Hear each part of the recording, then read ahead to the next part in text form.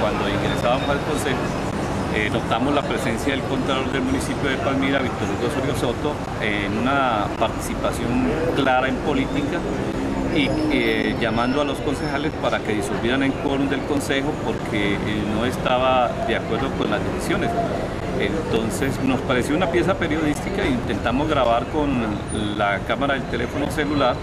y eh, el Contralor, eh, al darse cuenta de que estaba siendo grabado y que estaba cometiendo una irregularidad, le dice a uno de sus amigos que eh, advierte que están grabando y que nos arrebaten el teléfono celular. Hecho al cual nosotros no accedimos y de manera vehemente y fuerte impedimos la censura a la libertad de expresión, porque lo podemos calificar de esa manera, una censura contra la libertad de expresión, contra el derecho a la información y se suscitó pues un enfrentamiento en el cual pues no fui agredido de manera física,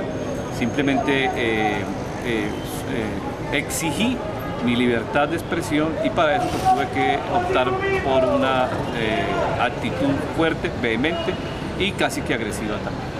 Entonces, pues queda claro también que, hay una situación, además de lo candente que está ocurriendo en el Consejo con estas elecciones de personero, lo que ocurrió con la elección de Contraloría, pues también hay una intervención ahí como para frenar el derecho a la información. Sí, sí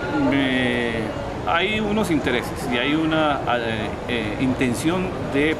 presionar al Consejo y a la administración municipal a tomar unas decisiones que eh, no, han querido tomar tanto el Consejo como la administración municipal y esto ha ocasionado primero la dificultad para la elección de personero y segundo eh, los enfrentamientos que se han causado no solamente contra un periodista como el que habla, sino entre los mismos concejales que parece que hoy ya está entrando en calma.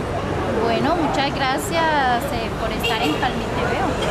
No, gracias a Palmiteveo ya eh, vi la nota que apareció sobre la situación que se presentó anteriormente, en los comentarios que han hecho varios periodistas que, palmiranos que residen en el exterior y periodistas colombianos y ciudadanos que han querido eh, defender la libertad de expresión, que es lo que pretendemos.